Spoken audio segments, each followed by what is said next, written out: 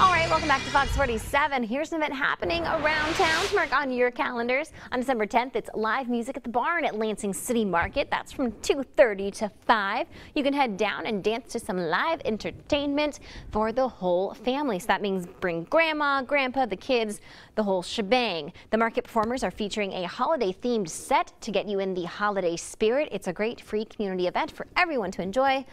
So sounds like a lot of fun. Now, if you have an event to share, send us an email around town at fox47news.com. We would love to hear from you and share your event right here on the show.